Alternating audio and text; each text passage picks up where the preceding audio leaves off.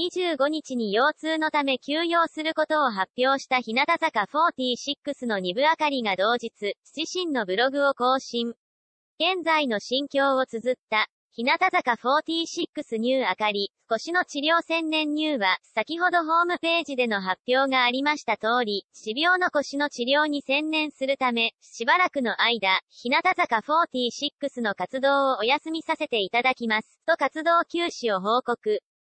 昨年の夏頃、入院し、思うように活動に参加することができなくなり、リハビリやメンテナンスをして少しずつできる限りの活動に参加していたのですが、また少し悪化してしまい、お医者さんとも相談し決めさせていただきました、と明かし、ずっとずっと、たびたび活動に穴を開けてしまい本当に申し訳ない気持ちでいっぱいでした、とこれまで感じていた思いを打ち明けた。また、8月30日から開催予定の全国ツアー、ハッピートレーントゥール2023ペノフ参加については、参加できず私自身も悔しいです。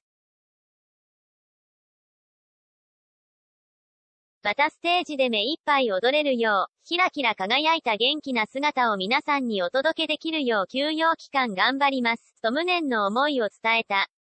最後には、ファンへ、少しずつ皆さんの心の中に、不安な気持ちを与えてしまっていたのではないかと思うと悔しくて、